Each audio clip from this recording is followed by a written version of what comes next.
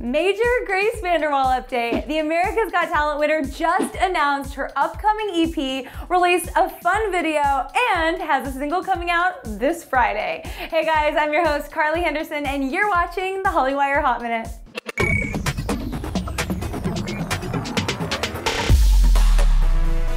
The winner of the $1 million, Grace VanderWaal!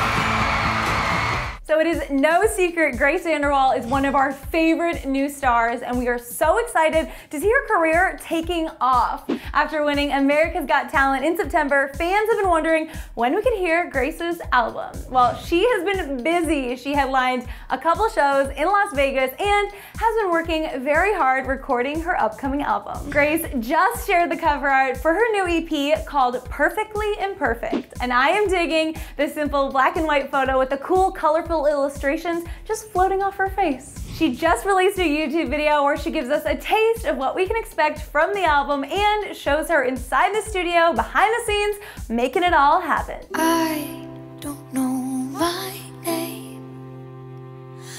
I don't play by the rules of the game. Perfectly Imperfect will be available December 2nd, so in just a couple weeks and just in time for the holidays. I just like am so excited about how people are gonna react. It's like waiting for Christmas. Uh, now she also talked about how she wants her music to impact people. When people listen to my music, um, I want them to feel happy or sad or something because I feel like that's what makes a great song.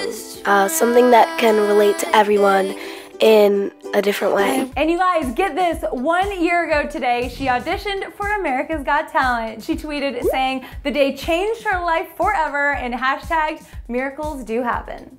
Grace performed at the New York Knicks halftime show in Madison Square Garden just last week, where she played Riptide and Light the Sky. Oh, lady,